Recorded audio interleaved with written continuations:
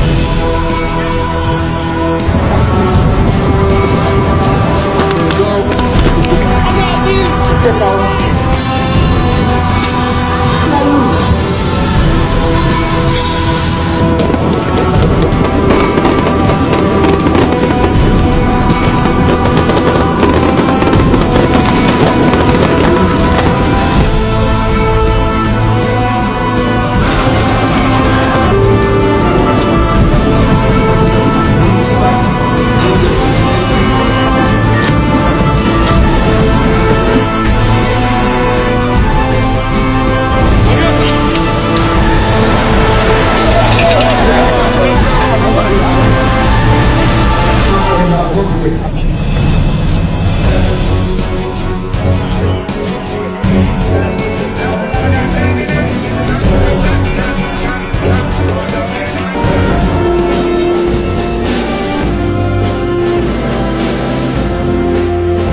blessed when you are a peacemaker. You are blessed when you are pure in heart. Amen.